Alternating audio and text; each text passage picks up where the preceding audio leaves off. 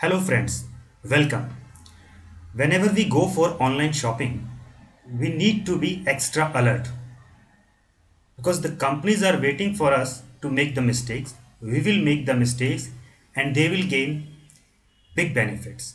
So they are just waiting for us to make the mistakes and take advantage of our carelessness.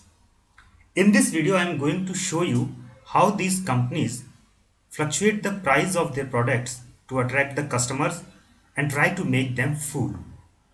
Here it is Philips 40 inch television. Its selling price is 32,595. I will try to buy this television. Okay, this television is already added to my cart. I added it yesterday when its price was 32,930 rupees and they are they were giving the discount of 2036 rupees so the net cost is 30,894 the payable amount is 30,894 rupees. Now I will proceed to payment. Okay. I will give any email ID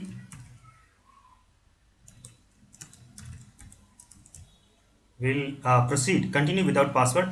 He uh, here see the payable amount. It is 30,894 rupees now continue.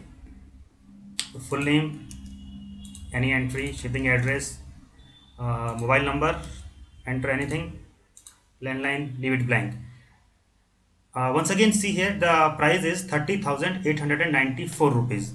So I am assuming that I will when I click on the continue and I will go for payment I will pay only 30,894 rupees. It is a very good deal for me because current price is more than 32,000 and here I have to pay 30,894 rupees only. So I will press on continue.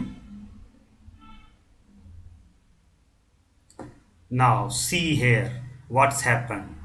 Now payable amount has been changed to 34,031 rupees so it is a clear case of cheating because see what was the price?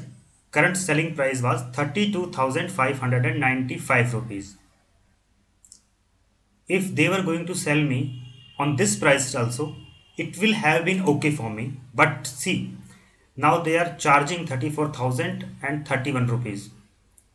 In this case if I am a little careless and I just go for the payment and pay the amount, chances are that I will suffer.